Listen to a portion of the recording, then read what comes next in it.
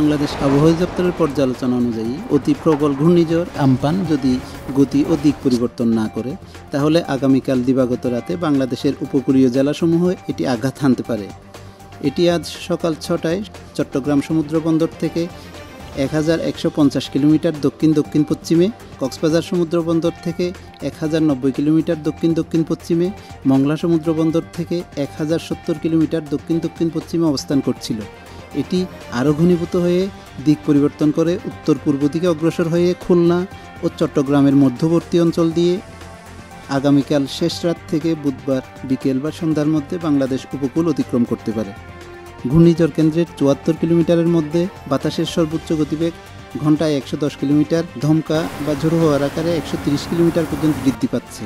চট্টগ্রাম, কক্সবাজার, মংলা এবং পায়রা সমুদ্র বন্দরকে সাত নাম্বার বিপদ সংকেত দেখিয়ে যেতে বলা হয়েছে।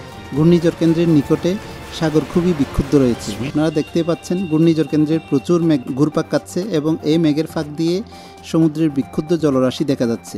আপনাদেরকে ঘুরপাক খাওয়া পুঞ্জীভূত মেঘের কারণে সৃষ্ট বৃষ্টি দেখাবো।